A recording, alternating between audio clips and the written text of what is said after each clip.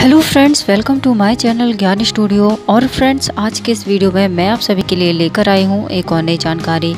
Friends वैसे तो लहसुन का उपयोग करना आपके लिए बहुत ही फ़ायदेमंद होता है, क्योंकि यह आपके सेहत के लिए काफ़ी अच्छा माना जाता है और कई सारी ऐसी शारीरिक समस्याएँ होती हैं जिनमें यह रामबाग की तरह कार्य करता है और उन्हें जड़ से ख़त्म करने में भी आपकी सहायता करता है।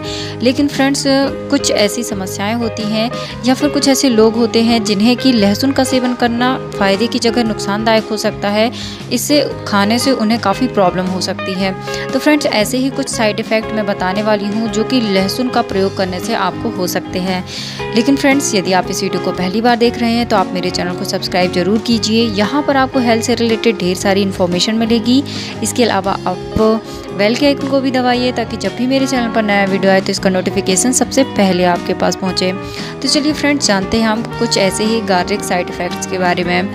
लहसुन का उपयोग जो है, उससे ब्लॉटिंग पेट फूलना, गैस, खराब पेट, गंदी साँसें और शरीर से गंध जैसी समस्याएँ आपको हो सकती हैं। यदि आप पेट या पाचन की किसी समस्या से ग्रसित हैं तो आपको गार्लिक का सेवन करने से पहले एक बार सोचना चाहिए और सोच समझकर ही लहसुन का सेवन करना चाहिए। यह एक स्कंदरोधी यानी रक्त को पतला करने वाला पदार्थ होता है। आप बोल सकते हैं इसे खाने से जो आपका ब्लड है, वह पतला होता है और रक्त को पतला करने वाली दवाइयों में यह हस्तक्षेप कर सकता है। इसलिए आपको यदि इस तरह की प्रॉब्लम है तो भी आपको गार्लिक का सेवन नहीं करना चाहिए या फिर ऐसे लोग जिनका ब्लड ऑलरेडी पतला है, उन्हें भी लहसुन का सेवन नहीं करना चाहिए। इसके अलावा लहसुन का सेवन करने से आपके शरीर व मुँह से दुर्गंध आ सकती है। इसलिए आप कोशिश करें कि गार्लिक को सोच समझ कर खाएँ और बहुत ज़्यादा इसका आप सेवन नहीं करें। इसके अलावा लहसुन जो होते हैं, कुछ इस ऐसे सप्लीमेंट्स इसमें होते हैं, जो कि गर्भवती महिलाओं के लिए अच्छे नहीं होते, इसलिए गर्भवती महिलाओं को भी लहसुन का सेवन करने से बचना चाहिए।